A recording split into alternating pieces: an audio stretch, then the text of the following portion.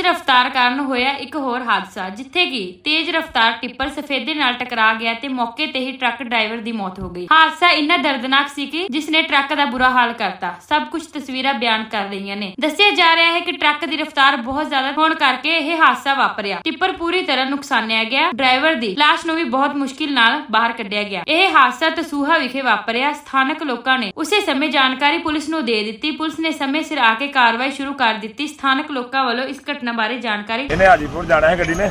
ਉਹ ਪਿੱਛੋਂ ਡੋਲਦੀ ਆਈ ਹੈ ਗੱਡੀ। ਹੁਣ ਪਤਾ ਨਹੀਂ ਕੀ ਹੋਇਆ ਨਹੀਂ ਕੀ ਹੋਇਆ। ਡਰਾਈਵਰ ਵਿੱਚ ਹੀ ਫਸਿਆ ਵਾ। ਉਹਦੀ ਲਾਸ਼ ਬਾਕੀ ਸਮਾਨ ਸਾਡਾ ਬਾਹਰ ਨਿਕਲ ਗਿਆ ਉਹਦਾ। ਡੈਥ ਹੋ ਗਈ ਡਰਾਈਵਰ ਦੀ। ਪੁਲਿਸ ਨੂੰ ਕੀਤਾ ਫੋਨ ਇਹ ਸਰ ਪਤਾ ਨਹੀਂ ਕੁਝ ਵੀ ਇਹ ਗੱਡੀ ਆ ਰਹੀ ਸੀ ਨੰਗਲ ਵੱਲੋਂ ਤੇ ਬਹੁਤ ਤੇਜ਼ ਸੀਗੀ ਤੇ ਆਣ ਕੇ ਸਿੱਧੀ ਸਵੇਦੇ 'ਚ ਵੱਜੀ ਹੈ। ਜੀ ਹਾਲੇ ਤੱਕ ਇਹਦਾ ਤਾਂ ਕੋਈ ਪਤਾ ਨਹੀਂ ਹੈਗਾ ਪਰ ਇਹ ਸ਼ੁਕਰ ਕਰੋ ਕਿ ਤੁਸੀਂ ਕੋਈ ਅੱਗੋਂ ਅੱਗੋਂ ਗੱਡੀ ਨਹੀਂ ਸੀ ਆ ਰਹੀ ਜਾਂ ਕੋਈ ਵਹੀਕਲ ਨਹੀਂ ਸੀ ਆ ਰਿਹਾ। ਉਹ ਉਹਨਾਂ ਨੂੰ ਨੁਕਸਾਨ ਨਹੀਂ ਹੋਇਆ। ਸਿੱਧੀ ਆਣ ਕੇ ਸਪੈਦੇ 'ਚ ਗੱਡੀ ਵੱਜੀ ਹੈ ਡਰਾਈਵਰ ਵਿੱਚ ਹੀ ਫਸਿਆ ਹੋਇਆ ਹੈ। ਉਹ ਡਰਾਈਵਰ ਦੀ ਡੈਥ ਹੋ ਗਈ ਹੈ